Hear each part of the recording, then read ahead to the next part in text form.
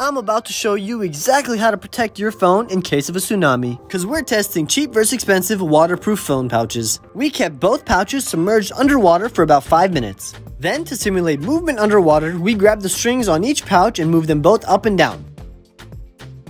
Now we're testing how well you could use the phones through the screen protector.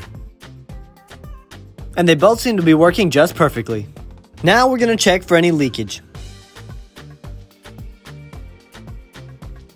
The phone was perfectly dry and the pouch had no water inside. Now to test the leakage on the cheap pouch. And again, no water and no leakage. Now let's talk about the prices. For the cheap, you're going to be paying around $10, while for the expensive, you're going to be paying around $37. Overall, seeing that both pouches performed perfectly, it feels like a no-brainer to go with the cheap. So cheap wins.